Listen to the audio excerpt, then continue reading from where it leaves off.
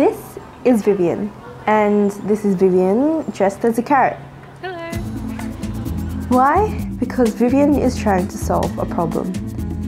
Here in Australia, we're facing some big food problems. The sad thing is, many of the best people who can help us solve them aren't getting the food up that they need. We're in a bit of a pickle. At the Youth Food Movement, we've worked with hundreds of young people across the country to help turn passionate food lovers into change makers.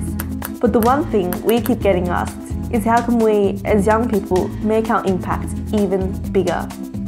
How can we help build a better food future? To answer that question, we're growing a launchpad for 100 young food leaders across Australia, a nine month community training program open to 18 to 35 year olds. Upstarts will build the capacity of young people to be leaders and change makers in the world of food and agriculture. It's all about giving a leg up to young people who love food, have new ideas, and want to make a difference. But first, we need your help. If you care at all about the future of our food, sign up and pledge to our crowdfunding campaign to make this dream a reality. Don't be a potato.